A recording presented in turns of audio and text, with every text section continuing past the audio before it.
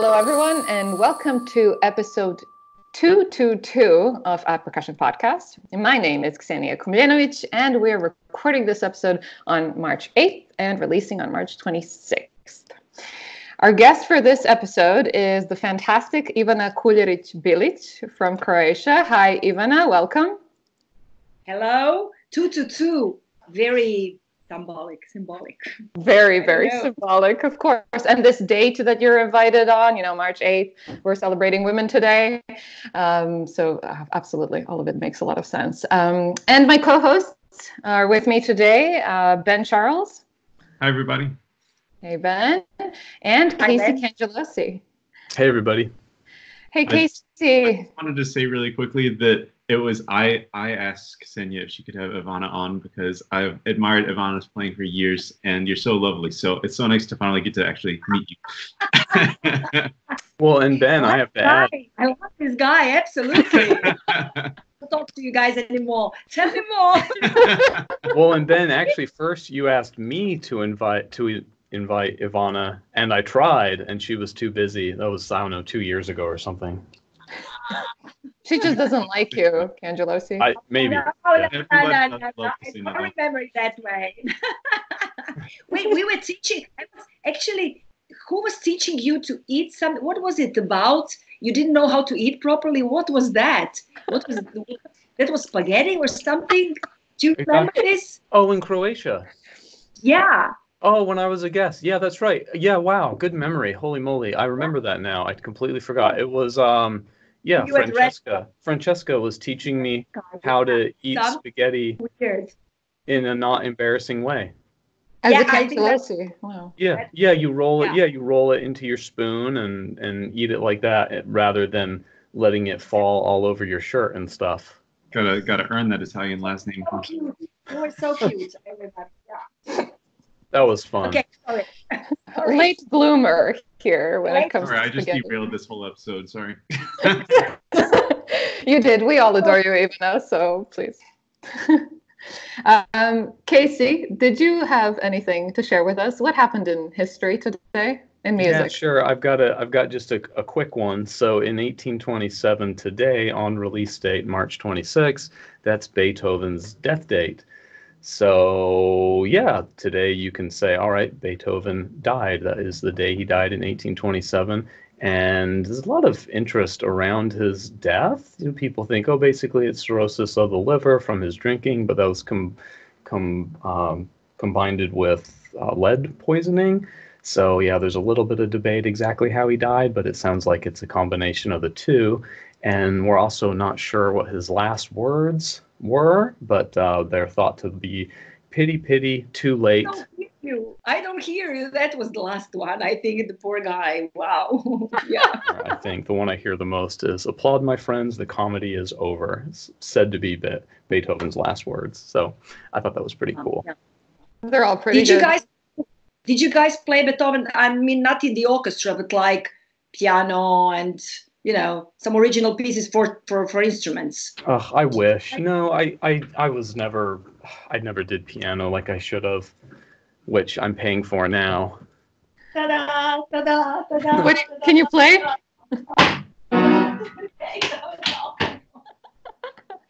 Release, go. So, so you must have Ivana, right? Yeah, yeah, yeah, yeah. Piano, piano history, history of piano uh, learning. Eight years of piano. Yeah. Wow. Hey, what's your favorite piano sonata? And I'd take that from from anyone. Fav- favorite symphony, favorite piano sonata.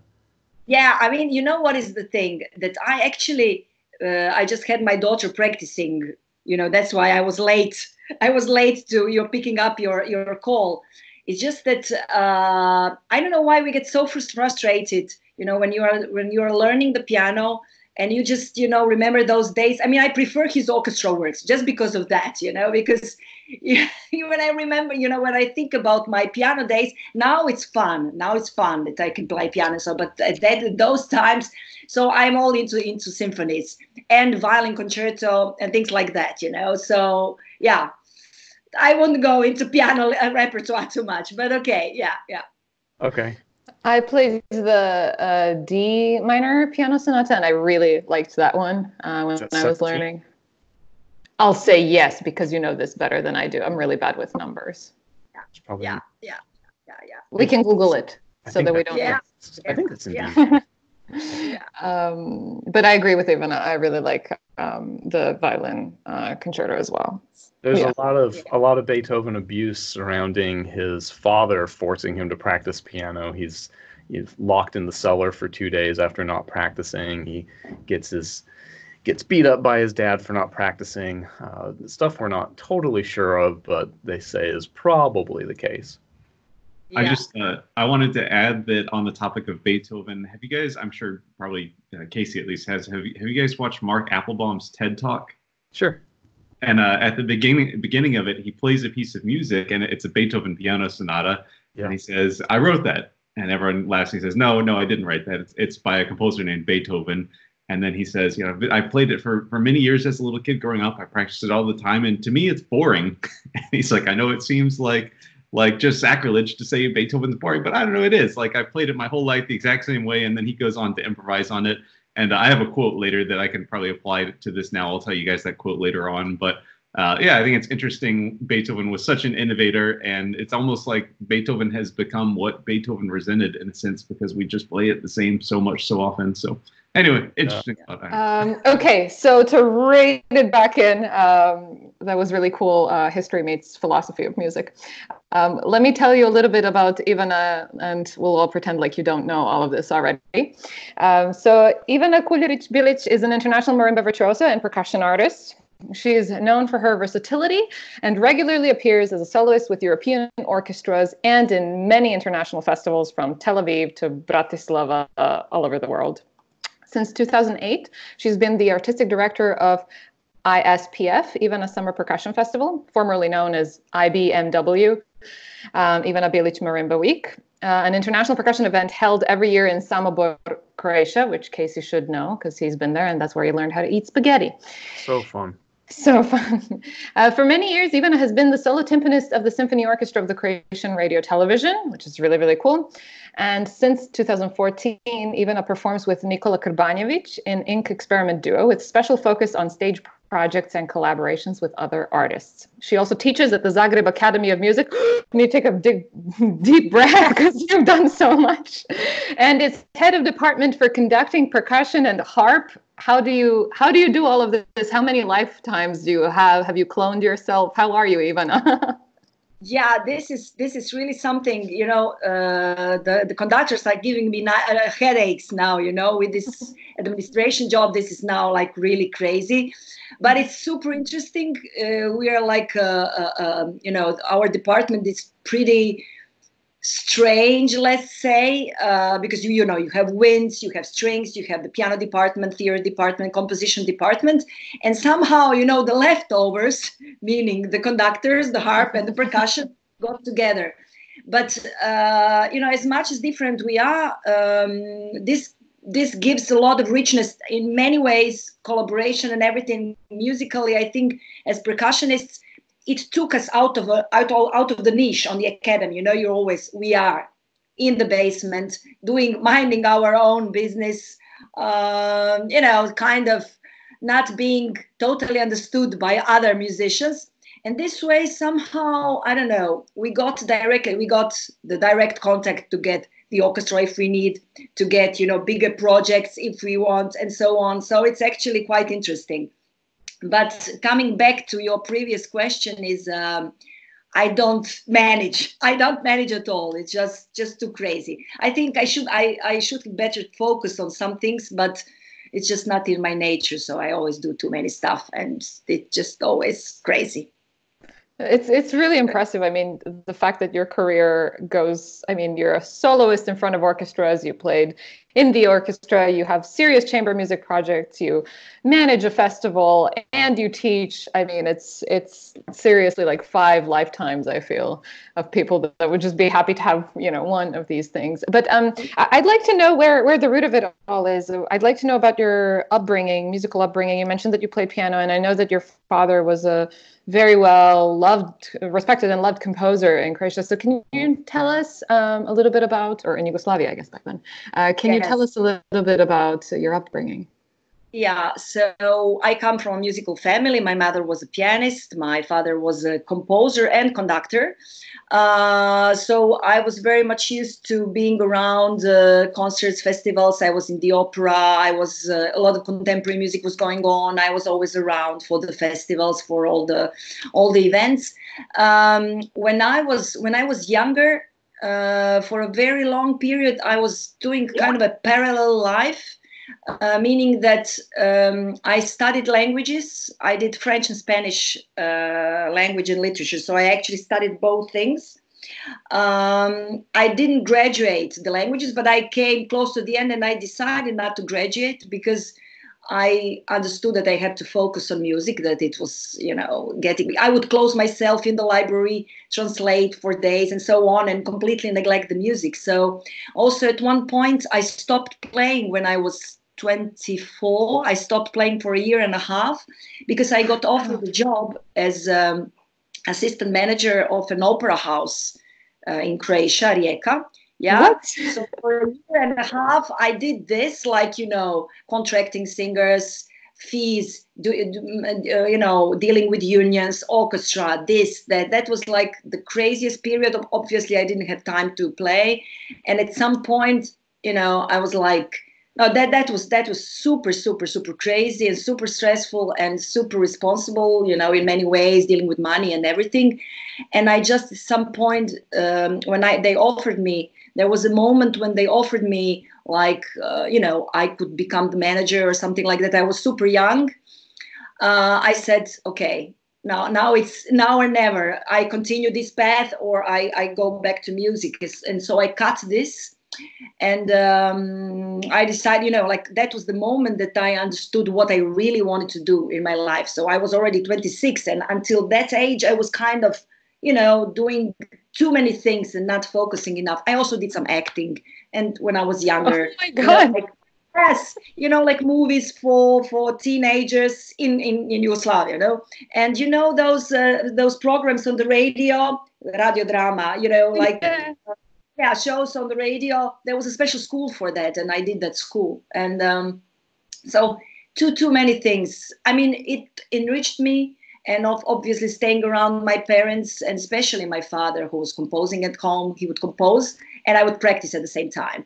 So it was like a schizophrenic situation. We had a small apartment like you know crazy. And i would had i had my marimba and his piano there. And you know he would start to compose. I would it felt like you know in high school when we didn't have enough rooms for percussion. So everyone was practicing together you know like terrible so actually that's that's that was my upbringing uh, being very much involved with my parents into the musical life that i was actually taking for granted all the time like meeting very you know great musicians and being around them and being at, at great concerts and seeing pieces uh, premiered or created and a lot of contemporary music going on. And also we have this very important contemporary music festival zagreb music biennale every two years uh, and uh, you know all the most important names of contemporary music would would come. And there was a lot of combination with theater. Also rock groups were coming. You know one of the first rock concerts that i attended you know my father took me there. You know so um, at some point i probably wanted to rebel against music and everything. So i was trying to do something else and then i came back. Wow that's... I speak too much. no, no, no. This is amazing. I feel like we could just talk about your childhood for an hour, but that's that's so incredible, and I had no idea that you did all of these things. It's so cool. But I wanted to ask you. So, how, did how did percussion enter scene? Because you obviously could have done anything, piano, acting, you know, whatever. How did percussion first yeah, enter? Yeah, that, yeah, that was the moment I wanted to stop with music. Um, after eight years of piano, I mean, I was really, I was you know music was like 24 hours a day in our in our home. And one of the things that we would do i was i had to do it too and my uncle had to do it because uh, the the the, the, the brother of my mother. So for a period he lived with us. So when my father was doing piece at those times there was no computer engraving. So he was doing these huge operas or symphonies or i don't know what big orchestra works. And we were copying material. So all of us like a small manufacturing studio we were all copying and correcting music. So, you know, they were using me when I was no, but it was a normal, you know, a normal thing. So uh, at some point, I was like so much immer- immersed in the music, and it was all all around. So I was probably looking for my, you know, individuality or something, and. Um, so I wanted to start with music. My mother said, "Oh, it's such a pity. Just try maybe to change the instrument." No, no, and she she found a teacher, a guitar teacher. Then something you know got complicated and then she said no but there is this percussion guy why don't you try i said okay and i started with these lessons okay okay and the thing that actually you know that got me into this was first of all chamber music like being uh, playing with other people you know? And um and you know orchestra and you know hanging around with cool people. And uh, of course i started then to under the pretension of having to practice, I started to jump out, uh, uh, stay out of the, the, the normal school because I was busy in school. So I was going out of classes there. So I was always not being there because I'm being, you know, like kind of. But I like this freedom, you know. I like this freedom, and I like this interaction, uh, you know, musically. And um, somehow there was there was this this moment that uh, you know they bought me a, a vibraphone the studio 49 with those narrow bars these terrible pedals sorry studio 49 you know and um, i got this instrument i remember that was that was summer uh, and i just you know, before every summer, I would go there and be in a swimming suit, you know, the whole summer, just not getting out of the sea because my father comes from an island and we have a house there. And now this summer, I locked myself and was practicing vibraphone like crazy. They, they thought I was sick. what was going on? and from that, somehow, from there on, you know, like chamber music, uh, getting my own instruments. This, this, you know, I felt like I could I could be me, you know. I was not like, you know, my parents in this whole. And this was something, you know, just for myself, something that they could not control or could not, even if it was music. At the same time, what was fantastic, I think, is that I, I got the, the possibility very, very early because uh, with percussion, you know, there was always orchestras were asking for percussion, uh, operas were asking for people, for percussionists, you know. So I was very young. I started to play in the orchestra, in the opera. Uh, I started in the opera house behind the, the, the, scene, of course, with this, or for La Boheme, playing the guard, you know, dressed, or I don't know, the bells there for Tosca, or uh, Rheingold, those anvils, or I don't know, the Eurovision contest contest for you know the rock pop things like that, something stupid around playing, or you know many things like that. And what was fantastic is that um, I met you know some of the most you know Les Percus de Strasbourg at the Biennale, percussion from Strasbourg. You know, we played with them. I mean, I was very young, but they needed an extra, I don't know, 13th percussionist, and I was there. You know, I was, you know, I was playing with Drouet or you know with with those guys. So for me, or Polyrhythmia, you know the the the, the Bulgarian famous Bulgarian group, you know with Dobri yeah, Paliev. Yeah, yeah. So so these contacts with some real, you know, legendary people, some you know great, great, great, great guys, great musicians. I think that took me. That you know just just pushed me and yeah yeah that was the moment that's fantastic. That's wow, such a cool story. And you're so high energy. I love it. Um, ben, you had a question. So, well, first of all, it's interesting to hear you talking about working as a as a, a music copyist for your father. Because I, I, correct me if I'm wrong, but isn't that what what happened with Bach's kids? Isn't didn't Bach have his kids like doing that sort of work? And then obviously we got some composers with J.C. Bach and you know, C.E. Bach. Sorry, sorry interrupt you. You know, I I read the biography of Bach, and what is fantastic, you know, he would like like send messages or it would come offer like uh, you know, I can cover the whole concert. My family, you know, we have all everyone covered. Like we can come, we can sing, we can, you know, we can play. We have everything covered. They like take us. We are great. We copy music. We do everything by ourselves. Like you get a, you know, a product. It was a little bit like that. Yeah, Bach had, uh, for the uninitiated, Bach had 20 kids, and maybe he was hiring them because he needed more music copyists. Entirely possible, although unlikely. But uh, Ivana, un- unrelated to that, I had a, a question. Uh, you obviously you've had a long-running relationship with Marimba One, and that's actually I think the the place where I've gotten to know your playing most is just seeing you at the Marimba One booth at PASIC. Uh, could you tell us about how that relationship started? And obviously you've developed a signature mallet with them as well. What was that process like?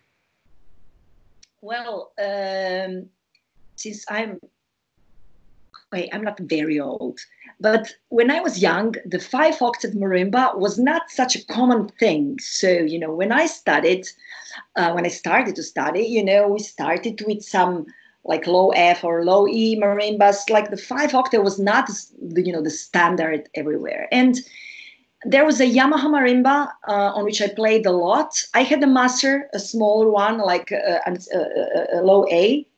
Yes, a low A. Uh, and um, at some point, uh, obviously, you know, I wanted to develop, I wanted to work on my sound, I wanted to work on my, and I felt like I just want to go out there and find the instrument for myself. You know, I, I felt like it's not just, you know, I give you the instrument and that's it, you play. I wanted to work on that, you know, I, I wanted to see how much I can, I can, I can find my own sound, let's say. And uh, in that quest, I came around Marimba One. What I liked very much was this individual approach uh, that I could talk about the instrument, that I could say what I want, that I could kind of influence. You know, I was once in the um, uh, I was once in the in the in the in the, in the company, and um, I actually spoke with the guys that were tuning the bars, and um, uh, you know, I was like, no, you know, can you you know, can you add these harmonics or cut those or no more? And then I realized how much, you know, can be done there still and how much we sometimes take our instruments for granted. I liked this approach and that was my, my, uh, uh, um, uh, that's what attracted me to Marimba One. Um, and there, um, it was in 2002, I think, something like that, when we met, Ron and I and um, he very soon he they they were starting to think about developing um, uh, mallet lines. And that was obviously for me that's that's something that i'm very much interested in you know this still working on the instrument still working on the mallet still i still see there's so much to you know we can we can uh, see or find about our either the tuning, either the sound of, of, of our instruments. And uh, actually, how it started was like they wanted to go into producing mallets, and they asked me if I was interested in. I said, yeah, you know, great. And um, we were just they were sending back and forth samples, and I would just like say, okay, I like this one. Like from this one, let's develop further, or you know, things.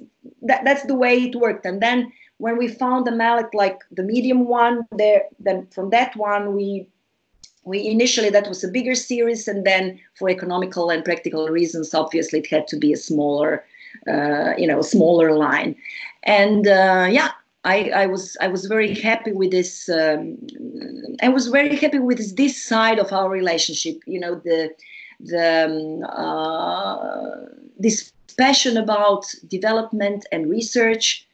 I I think you know it's not maybe just Marimba One. You can you know uh, it can be done with other companies too. It's just probably this initial contact with Ron, we somehow clicked, and you know, and the rest. Is did I answer your question? Yeah, yeah, very good. Definitely. Um, Casey, could you read out our Facebook question maybe for Ivana?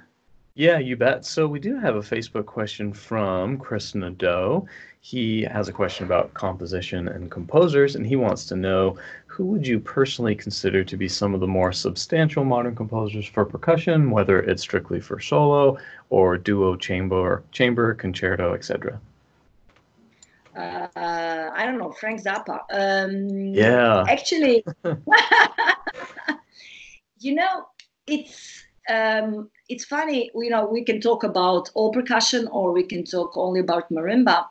Uh, talking about marimba, um, it's actually, I, I love the instrument, but sometimes I feel like we are uh, kind of stuck in a romantic period with this instrument. You know, it's like for many composers with, with whom I speak, uh, the most of the, the, the literature that is being played is like it's funny for them. It's like, what is this music? And we just love that, and for the audience and everything. Um, it's it's good for you know. It's like the the period of the virtuosi. Uh, I mean, I'm also composing pieces for marimba, but it's just like you know the romantic period of of of, of piano where you had all these uh, players who you know uh, uh, composed idiomatic pieces for the for the instrument. Um, there are many many uh, many beautiful pieces, but also there are many more that are not known, not just for marimba, but also for percussion. Um, it's it's funny. Um, I have a very um, um, how to say uh, love and hate relationship with the marimba because what I absolutely adore about percussion is that we can play all styles of music, and you know, uh, I'm you know I like to play with electronics and with marimba, it's it's like you know I think it's a baroque instrument. It's probably should have been built in baroque. It's like it's terrible to amplify. It's terrible to record. Um, you know, it's somehow i'm still struggling stylistically with this instrument. You know what kind of music is the best to be played on? I'm not um, I, I love to arrange things and you know be, being open to, to all musical styles. So coming back to this question it's difficult to say because you know maybe beethoven for, for timpani you know like things like that. I wouldn't go into saying okay this is the substantial composer. We are still um, you know there are many many beautiful pieces many many interesting things but even many more that are not known. You know in every every probably we have our own repertoire that, that is being played at competitions and students play that. But i know that you, for example i discover i go to a country i know in our country there are many beautiful pieces that are not played so much around. I know in serbia too. I know you know in in the us probably you know there's a the the the, the, country is so, so huge but we are sometimes i feel like we are in a niche you know and we are just like circling around the same repertoire. So this question is a is, is a nice one but i wouldn't come out with any name. I think uh, i think our problem is more of being somehow um, closing ourselves in a niche you know? Sometimes just like playing for for ourselves at festivals and at competitions. And i feel like we you know we have to be more open and we have to work much more on the on the on the you know broader audience. And then we will figure out what are the substantial composers you know with the time and with the reception from either broader audience either other musicians maybe you know this is my very subjective thought and uh, these are my, my subjective thoughts. And um, uh, although i think there are you know like case you did some fantastic uh, uh, uh and innov- innovative uh, things for for percussion which you know i absolutely adore. And there are many people like that. But i think at this moment this is not this is not important you know to be on one actually i think the production of pieces and the the level of performance is much much higher and it's gone above the the how to say the the distribution of our music meaning the reach of our music. I think we're still very close in our little world and we need to reach out more to the to the audience. It's so hard. Yeah. It's so i and i, I personally feel like you, you know you, you mentioned we're still spinning and swirling around the same rep. Yeah.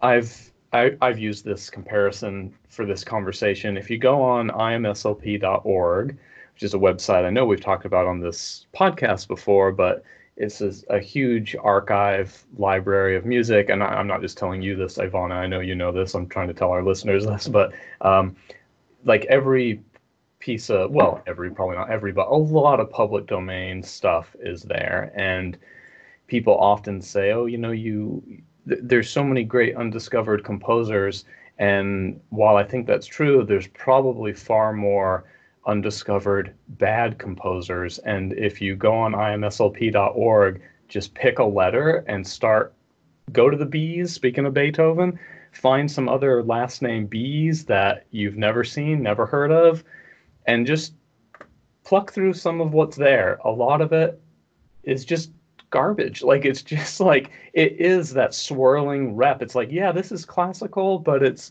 not really very interesting. And I don't know what I would ever write about this if I were to do try to give a talk on it. It, it misses something really special, or it just flat out doesn't sound very good.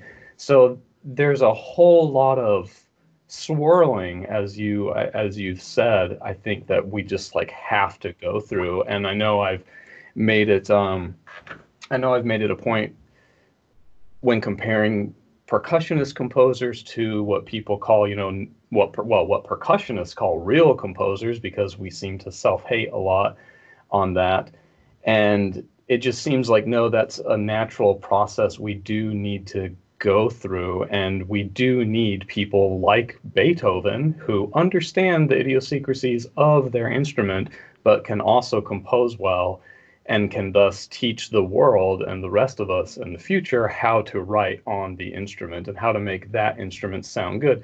Because frankly, like composers just writing for whatever they want and hoping you'll figure it out, like I think we're only going to tolerate that for a little longer just my personal opinion. Like I think having to hold a gong and a chime mallet in one hand while hold, holding two vibe mallets and a triangle beater in the other hand and like making that work, eventually we're going to have enough rep and we're just going to go forget it. I'm not doing that. No, you need to composers you need to do better.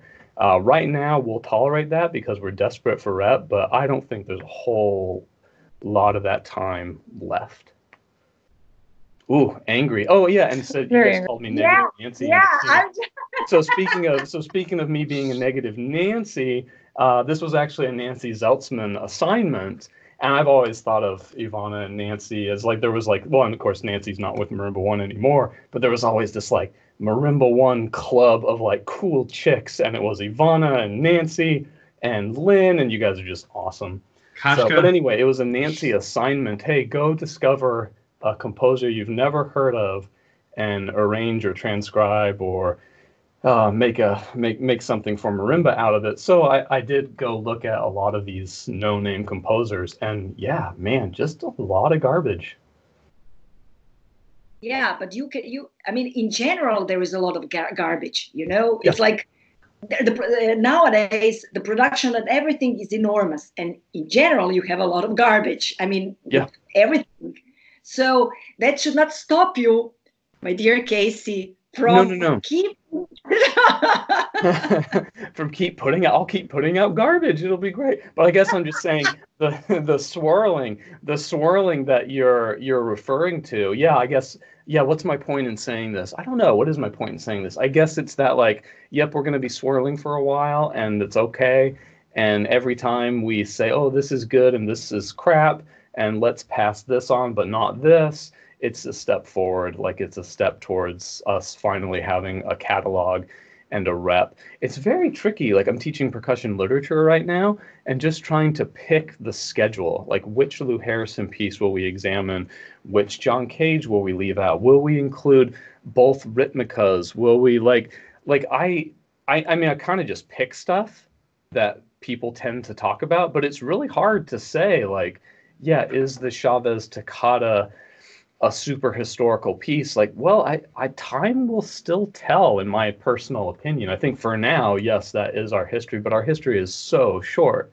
Like our history is so short. Like I, I can't even confidently say like, yes, that is a historical, that is of historical significance. It's like, ah, is it? I don't know. I mean, it is right now, but I don't know if it will be in 50 years. You know yeah but you know nowadays it's like of course i understand there are several you know levels you know when do you need to have this rep list. You know when you're teaching you know when i go when i when i do a concert i don't care about it. If I, i'm going to pick a program for my recital i don't care about the repertoire piece. So it's more like you know uh, in a methodical you know way like pedagogical way. But for that too uh, it's probably because we are we are a small nation. So there's always the tendency okay we should having you know we should include a croatian composer Ksenia, you will understand this. You know, we always have this part. You know, you have a recital.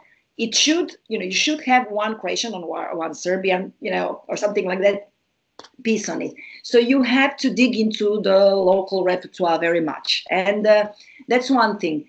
the other thing is that um, uh, uh, you know what I what I uh, uh what uh, what I always look at. Um, I'm just trying. I don't think you know nowadays there is going to be a huge you know when you play piano and you just don't play Bach and don't play Beethoven. I mean, it's a huge miss. You're missing a big thing. I don't think you know when you are preparing a student if he misses something of our percussion repertoire, if he misses a composer, it's not going to be a drama. I mean, it's important to develop musically and yeah, it's important to develop musically and, and technically, but there is still not a point, you know, a composer or a, a woman composer or a man composer that, you know, if we miss, that you know it's going so okay this percussionist is not educated at all. I mean you have to be informed but it's still i think uh, it's research as you casey you said you know you are trying to figure out should i do this? Should i i mean you are the one you are responsible you know? You are to blame if they don't succeed you know? It's like yeah. uh, you know when i'm teaching when i'm teaching i'm trying to fa- to find um, a composer or a piece that would fit my students and try to develop you know his strengths and also to develop this uh, his other you know? I'm what i what i'm looking for is like to have this variety of styles but um, you know but with composers i'm not so you know if, if we didn't do any Keiko Abe we didn't do any Keiko Abe. okay fine i mean you you should know i you know you should know about her but you know i don't know if you um, uh, if i'm being you know you know what i'm talking about you know oh, yeah, it makes sense yeah no, you sound like a crazy person. We're gonna stop this podcast episode now. Sorry, everyone. no, it's it's no, it's great what you're saying, and it, it brings up the question. Like, it's very hard to to nail this on the head and and and really make this point on the nose because we all still debate why we even do this. Some people do it just because they enjoy it. Other people think it really is like feeding and saving the soul of the world. I mean, there's so there and there's so much in between those two things, you know, and it, and it it goes down to that deeper question like why do art and why why do they do our students have to know about this composer or do they have to know about anything or could they just be free to go make art the way they choose? I mean, it's it's if if we could pin that down, we'd have a place a basis for like this discussion, you know. Yeah, the thing is that um, I don't know in the real world, you know, when you know when you are looking for opportunities, at least there's of course there are di- probably different traditions and ways in Europe, in the States, and uh, in Far East, and uh, and you know like. Um, when you go into the orchestra uh, world, you are going into the orchestra world, and you're, you know, you just have to prepare with your parts. I know, you know, if you are in Germany, you know, there is a certain style, and you go there. I mean, I was lucky to be able to uh, get the sense of many musical styles. So, you know, I could play the orchestra, I could play this, I could play that. I had opportunities, which was fantastic when I, you know, with my upbringing. And I think that's the most beautiful thing. I think a huge problem is when you are just, of course, you have to focus in a way, but you know, this this just drilling for, you know, drill for for just orchestra or just this or just that. Um, I mean, you have to focus but eventually it becomes just like you know chicken farms like tick tick tick tick tick tick tick tick coming out you know okay I think that I think that chicken sound you made, I'm gonna copy and repeat for about 20 yeah, seconds. Yeah, enjoy. Yeah, you want if you want more? In the in the inbox later. He'll sell it as a piece of music soon enough. Don't worry about it. It's gonna be, you know, oh, even that, it wouldn't that be cool? Like all a tape piece, all based on chunks from stuff people said on the podcast. That's ridiculous. Ivana, you get the honor of choosing what small percussion instrument it's written for: egg shaker, triangle, woodblock, whatever. yeah. yeah, yeah, yeah. No, it's so it's so cool what you're saying, and thanks for thanks for. Oh yeah, oh yeah. If you have a little, if you have a little, uh, if you have a little like fake beard like Ben and I do. Yeah, it's nice. You guys yeah. hear that sandpaper? It, I, thanks so much for thanks so much for answering that question I, and like sharing some thoughts. I feel like a lot of people it's it's hard to put your finger on, so they they they just kind of play it cool and say like, oh yeah, whatever, and and kind of blow it off. But it's cool to hear and I don't, I don't not mean people on the show necessarily. I'm not talking about other guests, but it's it's cool. I, I've always liked about you how you will you are opinionated and you will express your opinion and you have a lot to say. It's always been very cool. Yeah, yeah. No, I'm I'm just you know prove me wrong. I mean, I I really like to talk about this openly. So yeah uh, okay yeah, yeah. well great man great great question chris nadeau for sure and you know recently there was a little news article and ben has one news article about this this pianist and i found one or just the week before where um, yuja wang the pianist i hope i'm saying her name correctly what is it ksenia It's, uh, I believe it's Yuja Wang. Is what I've oh okay discovered in my research. But sorry, go oh, ahead. Good job, good job, good job. But she got criticized for not playing her. She had a recital program somewhere in, in uh, somewhere, and uh, she got criticized the next day for playing her program out of order. Um, like, like just eh, that's it. You know, I mean, just simply playing her program out of order. No, this is a different topic. It's the same person, but your article is different, Ben. All right, go ahead. I'm I'm done. Okay, cool. So now that's my turn. so yeah, we're going to talk today a little bit about Yuja Wang, and I, I figured, especially with the, with the female guest artist, this would be a really really interesting topic to get uh, Ivana's take on. Um, she's been for quite a few years now uh, a somewhat controversial artist for uh, one main reason we'll talk about briefly but in case any for the uninitiated who this person is she is a pianist uh, she was born in beijing her father i've discovered is actually a percussionist his name is Oh, uh, uh, sorry, any Chinese listeners for the pronunciation, but Jiang Guo Wang is her father's name. He's an orchestral percussionist, it sounds like. Um, so, anyway, she was born in Beijing. She started studying piano at the age of six. At the age of 10, she started studying at the Central Conservatory of Music in Beijing. At the age of 14, she left to study at the Mount Royal Conservatory in Calgary, Alberta, in Canada. And uh, then after that, she went to Curtis Institute of Music in Philadelphia, which Casey told us uh, after the show last week that she was actually there at the same time as Pius, which is kind of cool. that's what he Um, says. That's what he oh, claims. He says a lot of stuff. But anyway, her career breakthrough came in 2007 when she subbed for Martha Argerich and with the Boston Symphony Orchestra, playing, I believe, Tchaikovsky's uh, first piano concerto. Uh, ever since then, she's become a frequent collaborator, especially with Michael Tilson Thomas and San Francisco Symphony. She's toured with them, and Michael Tilson Thomas has promoted her work quite a bit. Uh, I found this quote from Joshua Kosman of the San Francisco Chronicle that I think uh, is speaks quite impressively to her artistry. Kosman says, quite simply, the most dazzlingly, dazzlingly, uncannily gifted pianist in the concert world today, and there's nothing left to do but sit back, listen, and marvel at her artistry. Um, but she has generated quite a bit of controversy over the years, in particular for her outfit choices.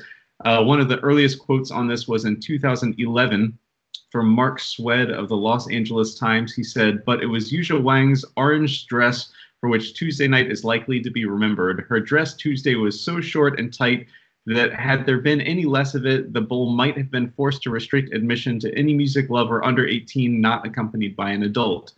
Had her heels been any higher, walking to say nothing uh, of her sensitive pedaling would have been unfeasible.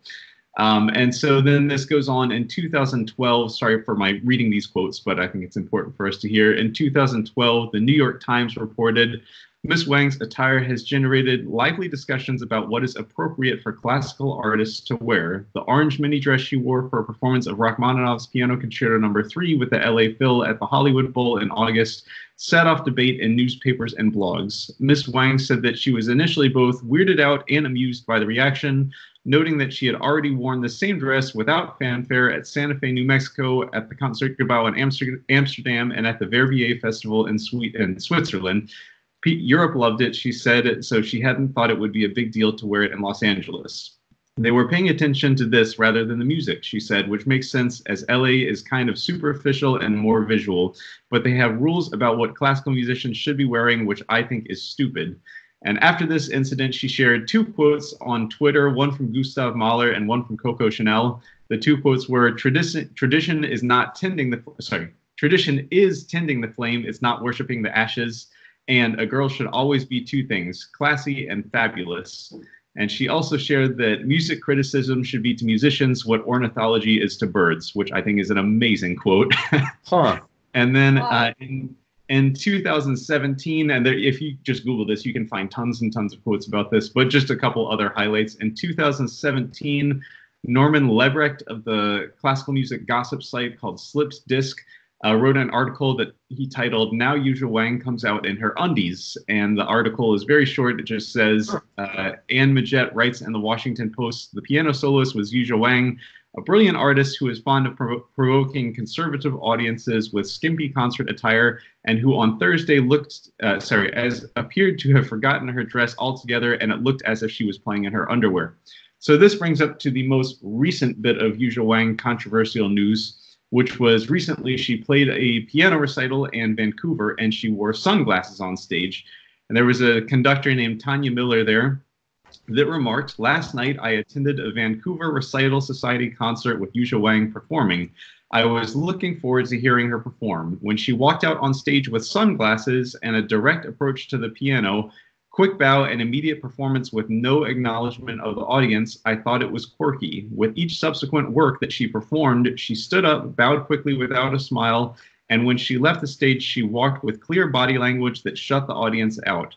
When the audience continued to clap to bring her back on stage, she refused. The effect was shocking. As each subsequent work was performed and this pattern continued, it became clear that she was shutting the door on her audience. And then Norman Lebrecht of Slipped Disc again called her out as attention seeking. So she responded uh, and she said, uh, This is Yuja Wang speaking. She said, On arrival at Vancouver International Airport on Friday, I was detained for over an hour and subjected to intense questioning, which I found humiliating and deeply upsetting. I was then released, giving me very little time to travel to the Chan Center for the Performing Arts. I was left extremely shaken by this experience. When I was dropped off at the venue for my recital that evening, my eyes were still visibly red and swollen from crying. I was in shock. Although I was traumatized by what happened, I was determined not to cancel the recital, but to go ahead with the performance and to not let the audience down, which included my dear teacher, Gary Graffman. I decided that wearing sunglasses was the only way to prevent my distress from being seen since I hadn't prepared to make a statement about what happened.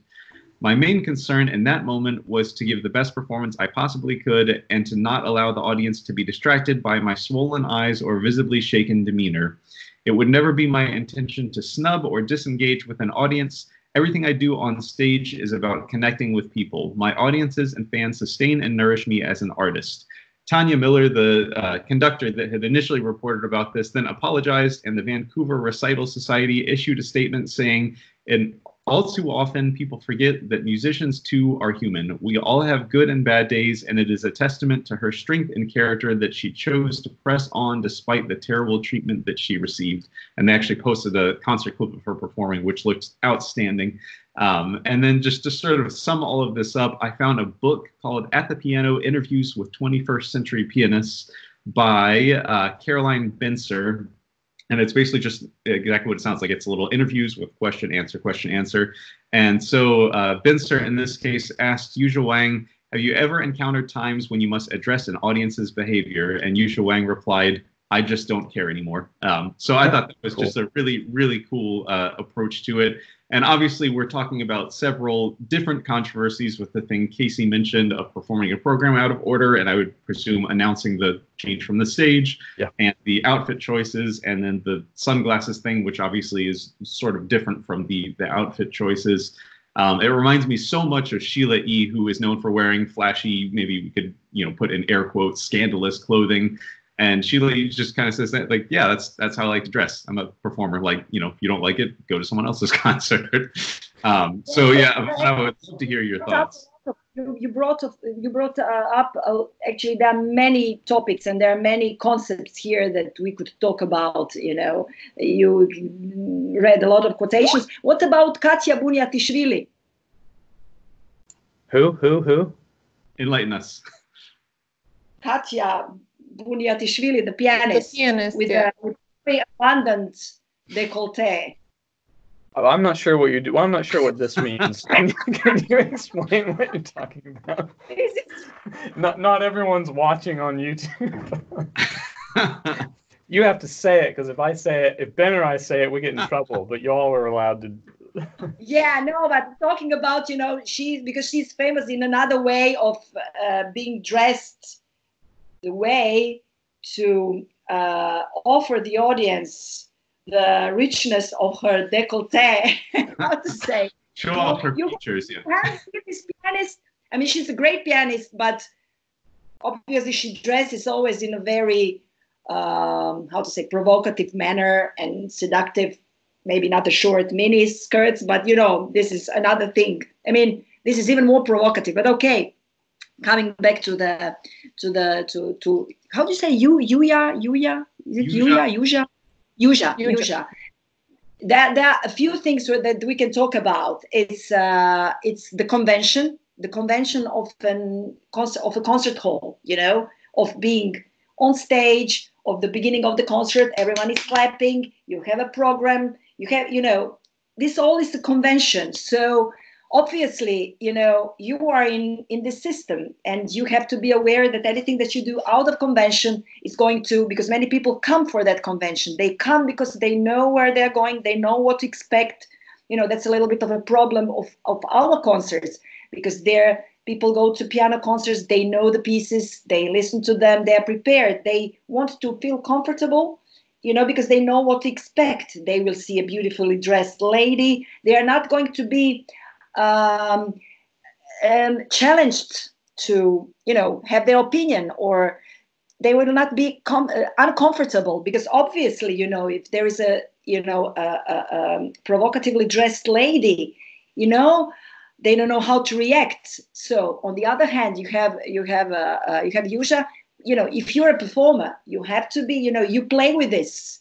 You know she's playing with this provocative and she's a star and you know with the star comes the there are two two faces you know. There is the glory and there is the you know your your audience that can that can bring you to stars and that can put you down. So this is not this is not an ordinary human or an ordinary musician that we are talking about you know. I mean uh you know this is not going to happen to us percussionists because we don't have so many you know people in the audience or so many concerts that are hugely paid. So i think this is i mean great for her but you know with all the opportunities that she has and the money that she earns i wouldn't you know be so sorry i mean she should endure you know what can i say and I'm, I maybe I, I sound a little bit cruel, but I don't spe- specifically sympathize, you know, with this little drama. Right. I, yeah, and I think to us, I mean, you know, percussionists are, I think, inherently progressive. Like we just have to be. I mean, our our art is newer. There's less tradition. Back to this percussion literature topic I mentioned, but also to what Ivana was saying about, um, or I guess what we all were saying about like, well, well, like, what is this all for, and what should composers be doing, and what rep is gonna emerge out of this swirling of rep that we're kind of kind of stuck in right now and it, it seems like there are you mentioned the word convention and like people are expecting certain conventions and it just seems like nobody would care about this if they knew how to listen to music better like about either topic. Like oh she played her program out of order. Ugh. oh she she wore the wrong thing i wasn't expecting.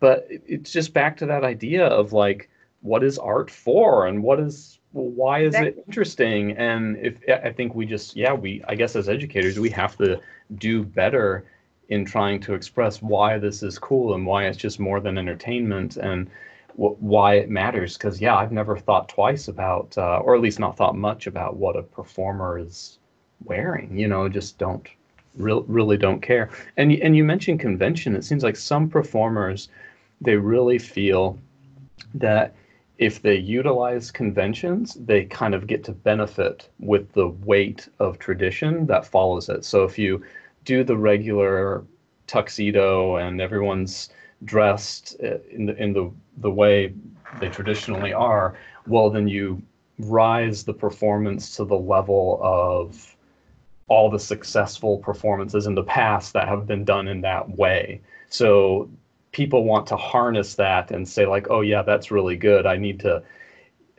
I, I need to take advantage of the tradition and use the tradition in a way that benefits the performance and makes it stronger. And then I think there's other performers, which a lot of percussionists fall in, like, no, no, we're going to totally change the concert atmosphere and make it more relaxed and dress however we want and that sort of thing. Sorry, another rant, but Yeah, I mean, it, I mean- it reminds me so much. I saw a, a while back, uh, Evelyn Glennie a, a long time ago posted something online, and I think I've had actually had trouble finding it recently when I looked, but uh, about how she played at I think it was the uh, Walt Disney Concert Hall in L.A.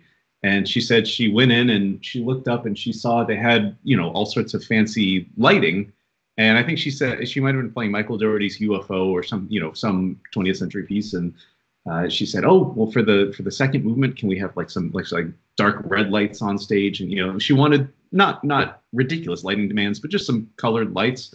And they said, "Oh no, sorry, we can't we can't do that for classical uh, concerts." And Right. she's you well, told but us that. That's cool. have yeah, you have the lights right there. I mean, like, what's what's the big deal? Like, you know, Right. oh, well, we don't do that. That's you know, it, it doesn't fit the convention. And there's actually a great quote from Yuja Wang that's uh, like in a similar sense. She says, "If the musical, if the music is beautiful and sensual, why not dress to fit?" It's like, yeah, like why why do we have I to like live to this what is convention? what is beautiful about her that I it fits her. You know, it's not like she's trying to be something. She is that image of a lady in in the miniskirt for me when I see her. It just it's a part of her. I how to for me it's that's just you know that's just her personality. So for me, I mean, I'm not a man, so this is not distracting me. But you know what I you know what I mean? I mean, I wouldn't say that you, she's like being she's provoking me with anything on there. You know, it's just that's her. That's just her. She you know it fits. It fits her her persona. Yeah, yeah, that's simple. Yeah. Um, It's like you- your gla- it's your persona. You know, Casey. It's just like you know this look that you have. That's I perform in this, this cool, this cool, uh, what is this, Uh-huh. lumberjack, lumberjack flannel I have on? style. Yeah, Yeah, it's I rustic. want to cool, I wanna it's see- tough, you know. I want to see Casey play in a mini skirt. in a mini skirt. it's really, it's really tricky. Like I have to say, as as a as a as a man getting in these discussions, it's so tricky because women feel so different about this topic. I, I mean, mo- I think most artists I bump into say like, no, you should be able to perform however you want, and she's the artist. You should be able to. Uh, dress what however way you want but it's it's very tricky because like people ask your opinion and i just feel like yeah whatever i don't really care but if you say that to the wrong person it's like really offensive. Like what? You should care about this. She's supporting the objectivity of women and she's you, you should really condemn that on your podcast and you have a platform and you need to use that platform. It's like dude no i'm sorry. I just i just don't. It just takes more than that to piss me off. I'm sorry I was I was just going to add that uh, a- another performer, a male performer that has come under you could say similar controversy for his outfit choices is the organist Cameron Carpenter. And if you, I, I won't go into a rant about that, but you can look that up. But I mean, my whole thing is like, you know, if you don't like it, don't buy the concert ticket. But if Yuja Wang was playing in Dallas, I would be there listening for sure. yeah But you know, yeah, Ksenia, the, the Serbian, the fantastic Serbian violin, violinist Nemanja Radulović. Nemanja Radulović, you know him, right? amazing. Yeah. also- oh, he has this very unique dressing style, but that's him. I mean, I you know, which is totally not conventional, but I don't know. It's just like it works. I don't know why. It probably depends on the on the. It probably depends on the place where you play. Maybe it's France, and it you know in France anything goes, or there are some more conventional. places. I don't know.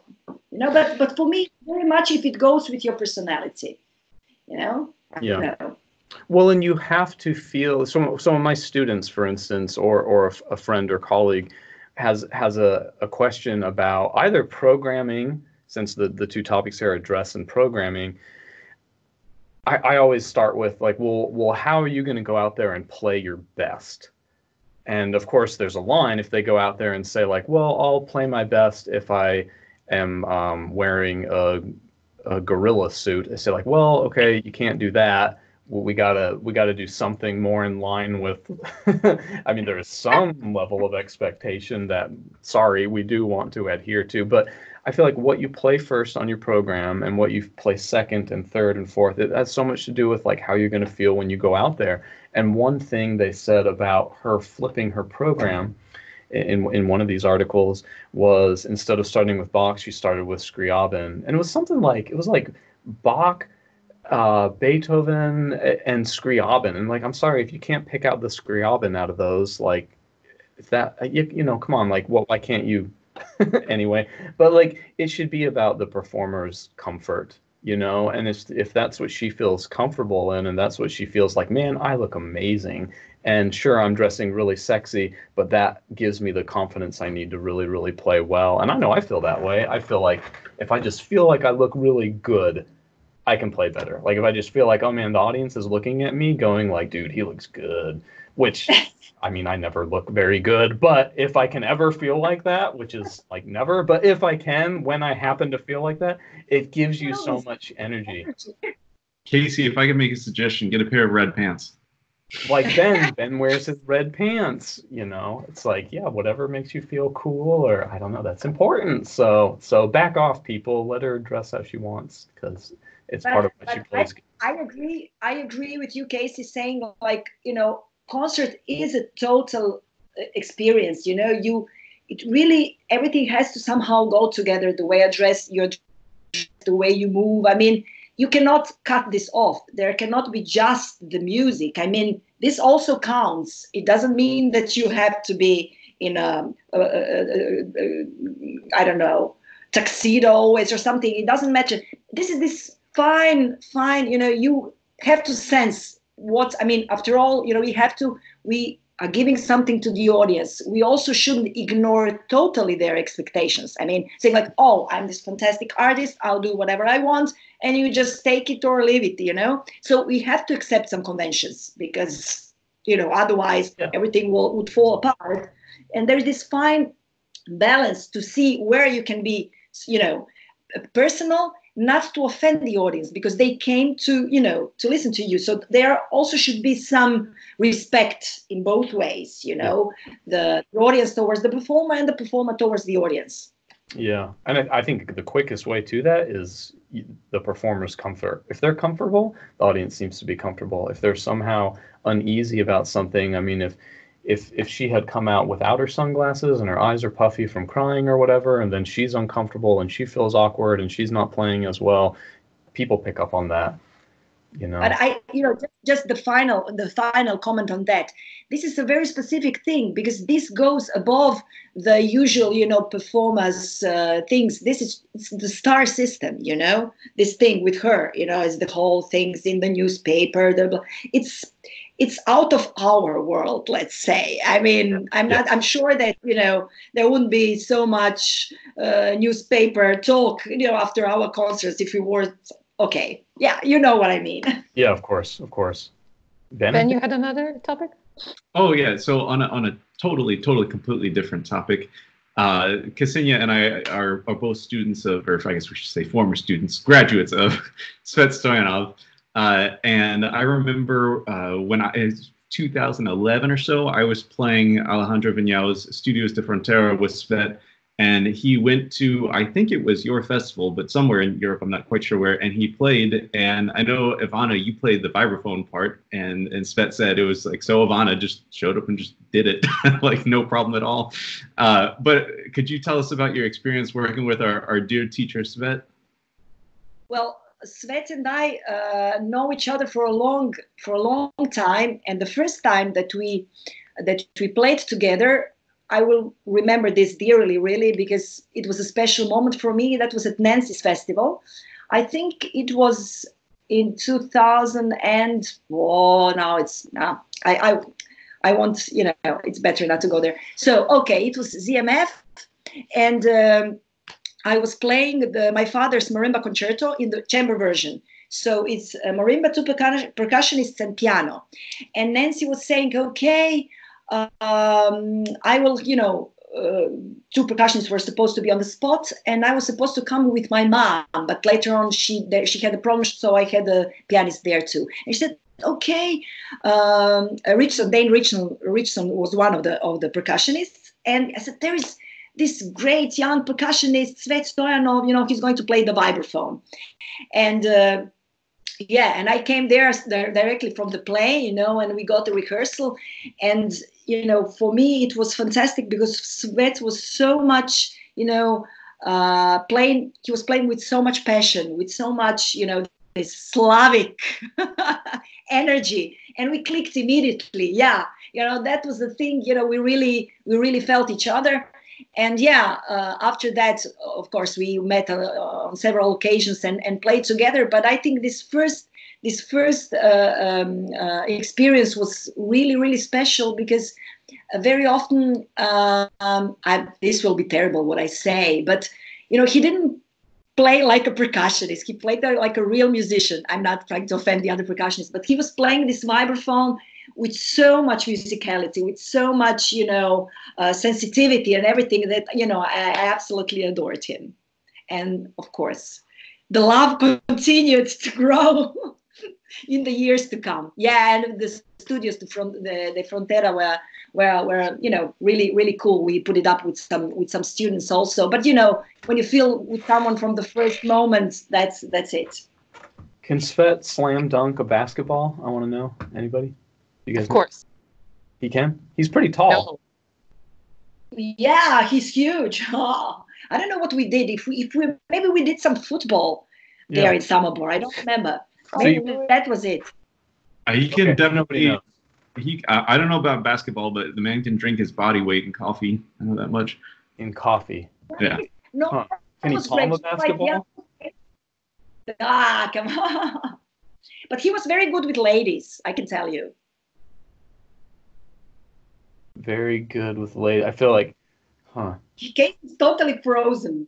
Like, we're probably going to have to cut this out, but you should tell us more just you know, behind closed doors. no, this is good. No, no, no, no. It's probably this, this, this, you know, uh, the temperament. Like we, we really clicked well. But speaking about coffee, that's true that the guy never slept. You know, he slept a little bit on the on the marimba bags behind the scenes, and then he went on practicing and playing. Yeah, I think we even have a have a have a picture of him somewhere behind, somewhere in some angle, you know, on the marimba cases. you know? yeah, that's fantastic. Cool. Uh, um, okay, so uh, Ivana, we wanted to ask you a question that uh, came in from one of our other co-hosts who's not here today, um, and she apologized, Carly, Carly Vina. Sorry, I went into full like Serbian mode. Um, hi, Carly. We know you're busy. You have a lot of gigs, unlike the rest of us on this day. Um, but uh, here is one of her questions. She said, uh, "Please tell us more about uh, your summer percussion festival. What is the focus, and how has it evolved over the years?" So what is nice about this festival is that uh, initially it was uh, in the frame of a of another festival, Chamber Music Festival. It's not it's not big. The town is not big. It's close to Zagreb. Uh, the venues are not huge, so we don't have like thousands of people. But somehow um, we had a lot of audience, you know, non-percussionist audience and local audience coming to our concerts. And um, the focus initially was loosely on the marimba, uh, but uh, you know we always had all percussion and my my goal was to always invite um, uh, people that have never been to croatia uh, percussionists. Uh, first of all i would you know for because uh, it is a festival but it is also a seminar so it has also pedagogical it has two uh, uh, um, two, two phases uh, concerts, master classes, and, and private lessons, and a lot of chamber music. Uh, my idea was always to invite a, a renowned percussionist a respected and renowned percussionist, uh, uh, a rising star, like somebody who is really, you know, now uh, very popular but is still uh, still young, and just you know people that are not known at all, maybe people that just finished, that just graduated, but are you know are very interesting. And I still, you know, I never managed to invite all the people that I would want to. I especially lo- uh, love to invite people that are probably not known at all, but are just you know great musicians. And what I always like to do is like I learned a lot from Nancy's festivals, trying to you know always play together on the festival, trying always to um, come with additional content like you know having tai chi or having irish step or having some you know things like this that can be loosely connected with with uh, uh, with uh, our our art but can be interesting also relaxing a little bit for the students so what i think is nice uh, that it's a cozy small relaxed town where everything is close and that for those that period you just really live for being together making music together and, what I as I, as, as I spoke before, what I, I'm most happy about is that we are not, you know, playing just percussionists for percussionists. We are trying really to, you know, play for a larger, larger, uh, broader audience, and at the same time, of course, have this this intensive uh, uh, pedagogical part with master classes, workshops, a lot of chamber music, uh, and private lessons. Uh, yep. And what do you have lined up for this upcoming year? So, okay, finally Nebojša is coming. Živkovic. He has never been to Croatia. Yeah. Really? Wow. Not for festival. I mean, he has been, but not for percussion festival. He taught me And how of to course- your last name. Sorry? He taught me how to say your last name correctly. His Yeah. Živkovic. No, your last name. He he told me taught me how to pronounce your last name correctly. Like, okay, Bilic, Kuljeric, Bilic. Why? No, he, Casey just said that uh, Živkovic taught him how to pronounce your last name, and now you're basically teaching uh, Casey how to pronounce Živkovic's last Okay, name. So okay, okay, you okay, know. okay. It, it wasn't Sorry. worth interrupting you, definitely. Yeah, yeah, yeah, yeah, yeah, yeah. Uh, okay, so Nebojša. Then uh, um, uh, we will have a, um, a lucid duo with uh, uh, Tomasz Golinski and Irena Manolova. We'll have uh, uh, Walter Mertens. He is a Belgian Belgian guy who play who um, composes a lot of uh, pieces for uh, for percussion ensemble, maybe for, yo- for younger for younger uh, uh, students. Me myself. We will have um, some young young percussionists from Croatia playing, but that's that's mostly this this year. We are kind of shorter for one day, a little bit more tight because of the dates and everything. Um, it is actually crazy. I, I mean, I'll speak about it now because um, I don't know how is it in the states, but now you know in Europe with this hysteria with coronavirus and everything, so things are being really really crazy. I don't know if uh, in, in Slovenia, the bordering country, they actually cancelled all the events. You know, all the gatherings, events, and everything. Italy is being closed and everything. So we are trying to, you know, it's everything is fine in Croatia still, but we are kind of trying to deal with all this uh, logi- logistically and, and uh, organization wise. I don't know how is it going on in, in the States, but in Europe, the hysteria is quite strong. I had to come up with this because it's crazy here. I don't know how much you feel that, but yeah, it's, It's- it's starting to get bad here, and there's a lot of starting bad Feel crazy. Yeah. I mean, I just yeah, every day it's like, yep, confirmed cases here, here, here, and here, and here, and yeah, I'm very some- aware of how much I'm but touching my face. say- in podcasts. Sorry, say again. Samobor is safe, totally. Everybody go to Samobor. Samobor will keep you safe. I had a blast there. Your festival was so much fun. Yeah. Hope you had. Hopefully you had. I Oh, think I we had. We had. I did, and and um, oh my gosh, I'm forgetting his name. He walked me to the the ruins up in the hills, like the castle. It was so cool. That's so cool to us. Who was with you? Okay, the, the Sant'Angeli were there. Who was with you that that year? Oh, the other guests? Uh, yeah, definitely Francesca. Um, uh, I don't. I, that's all I remember. It might have just been Francesca, I guess. No, no, no, no. There were other people. Um, look what I look what I still have. Ooh, you can check then inside who was there. Oh, wow. Yeah. No, this is just staff paper. Actually, oh, just tab- okay. Okay, okay, actually okay, it's guitar tab paper. okay. Okay. Yeah. Samobor But now we got we got independent. Now we moved because before it was in autumn. Now it's in summer. We changed the name because we are, we became independent. We are not with this bigger festival anymore. So there were there were there will be more uh, open air e- events, which is cool. You know, like uh, with the for a larger audience. So yeah, it's it's developing nicely, and yeah, I'm happy. So come to Samobor. Everybody I go was to there- summer. I was there in 2015. Yep. Yeah. Wow. It feels longer than that. Oh no, I guess it's 2020 now. Yeah. Okay. Yeah, that sounds about right. Yeah. yeah. Confusion about past or present. Let's decide. Oh. Uh, we Um, are so happy uh, to have you on the show, Ivana. Thank you so much. And we're going to bring you back with your duo because we did not even get to scratch the surface. And the, we had so many questions that we did not get to go through. But that's because the discussion has been so productive and fruitful.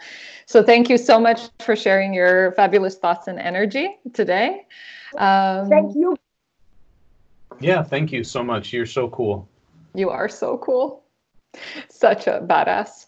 Um, anyway, thank you all for listening. We'll catch you next time on 223. Bye. Bye, y'all.